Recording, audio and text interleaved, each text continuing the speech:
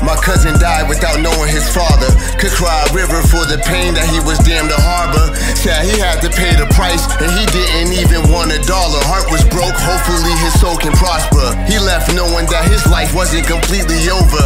I prefer an open casket with some decent closure. Can you really rest in peace when there was war within you? Sometimes I never understand the things we're forced to live through. Uh. Like my step grandfather, ain't seen him in weeks. Figured I'd give him a little time before making discussion. He lost his wife for 40 years, that's so different to me because I'd rather lose someone who loves me than live with who doesn't.